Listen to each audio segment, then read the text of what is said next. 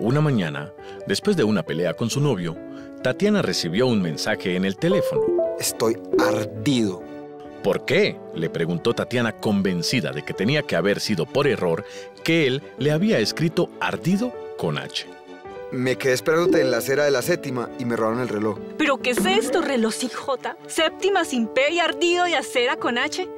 Lo mejor es que terminemos. Podré parecerte pretencioso, pero no estoy de acuerdo. ¿Pretencioso con ese?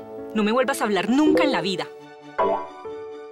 Esta historia de amor no tuvo un feliz desenlace, pero las cosas habrían podido ser diferentes si Tatiana hubiera sabido que en el idioma español a veces conviven dos formas distintas de escribir una misma palabra sin que ninguna de las dos formas pueda ser considerada incorrecta ni altere su significado. Al igual que la forma de hablar, la forma de escribir también va cambiando con el tiempo. Ardido y acera se pueden escribir con o sin H, séptima con o sin P, reloj con o sin J y pretencioso con S o con C. Raúl, perdóname, estaba equivocada.